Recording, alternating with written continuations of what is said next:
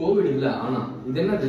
மூணு நாள்ல எல்லாருக்குமே காய்ச்சல் காய்ச்சல் கூட ஒரு உடம்பு வலி அதுக்கப்புறம் மூட்டு வலி சதவலி இதெல்லாமே இருக்கு. இது நம்ம மட்டும் இல்லாம நம்ம பக்கத்துல இருக்கவங்க கொடுக்குறோம். ஏன்? டிரான்ஸ்மிஷன் டிரான்ஸ்மிஷன் வந்து ஏர் டிராப்லெட்ஸ் மூலியமா பரவுறதுனால நம்ம மட்டும் இல்லாம நம்ம கான்டாக்ட்ல வரவங்க இல்ல நம்ம பாக்குற டாக்டர்ஸ் இல்ல அங்க வர ஹெல்த் கேர் ஒர்க்கர்ஸ் இவங்க எல்லாருக்குமே அஃபெக்ட் ஆகிற மாதிரி வருது. இந்த இன்ஃபுளுன்சா வைரஸ் இதுதான் ஃப்ளூ வைரஸ் அப்படின்னு நம்ம எல்லாருமே ஷார்ட்டா சொல்றது இந்த ஃப்ளூ வைரஸ் இருந்தா என்ன வரும்?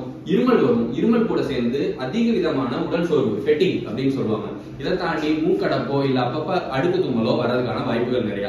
இதுக்கு என்னென்ன பண்ணலாம்? ஆக்சுவலா ஹோம் ரெமெடிஸ் மூணு ட்ரை பண்ணலாம். மூணு இருக்கு. ஒன்னு என்னன்னா ஃபர்ஸ்ட் ஸ்டீம் இன்ஹேலேஷன் நல்ல ஒரு யூகலிப்டஸோ அது மாதிரி ஏதாவது வச்சு நம்மளோட அப்பர் ரெஸ்பிரேட்டரி ட்ராக்டை கிளியர் பண்ணலாம். இது கிளியர் பண்ணாம விட்டோம்னா இது லோவர் ரெஸ்பிரேட்டரி ட்ராக்டுக்கு போய் நிமோனியாவா டெவலப் ஆக வாய்ப்புகள் இருக்கு. அதுக்கு அடுத்தது நம்ம பண்ண வேண்டியது salt water gargling salt water கார்கிலிங்கிறது நம்ம உப்பை நல்லா தொண்டை வரை கீழே இறக்கி அதை கார்கில் பண்ணோம்னா அதுல நல்ல எஃபெக்ட்ஸ் உண்டு.